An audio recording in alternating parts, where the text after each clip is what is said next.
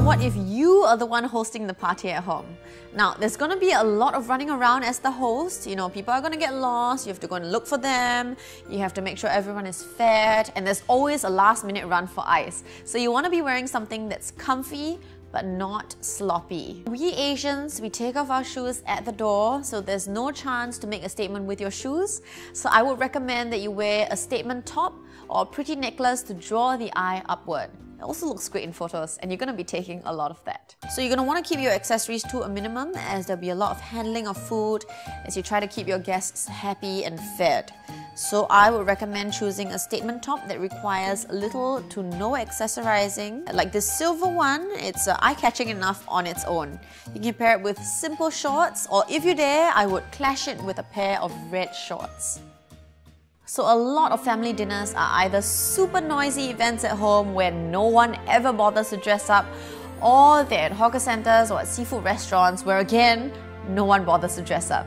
But this is the festive season, so you might want to make a little bit more of an effort. So dress comfortable with the people you love the most. You don't want to be fussing around with your clothes if you chase after your younger cousins or you play with your cousins' kids. So start with your favorite basic white tee, and if you need a few more tips on how to style a white tee, check out my previous video. So wear this with a pair of shorts, but be sure your shorts are a little bit more dressy. In this case, I've picked a pair of sequin shorts. So wear this with a statement necklace so the t-shirt doesn't look too plain.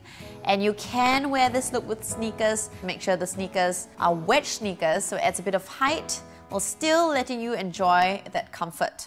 Alternatively, if you're too lazy to even wear a necklace, pick a top that comes readily embellished like this embellished sweatshirt. It's super comfortable, looks so dressy on its own. You can even wear this with denim cutoffs and wear this of course again with sneakers. You can wear flat sneakers, just no flip-flops, please. So you have no excuse to be sloppy this year. And of course, you can look for me online. I'm on Facebook, on Twitter, and on Instagram. You know what? Put pictures of yourself in your Christmas outfits online. Be sure to hashtag ChicPeek so I can have a look and see what you've come up with.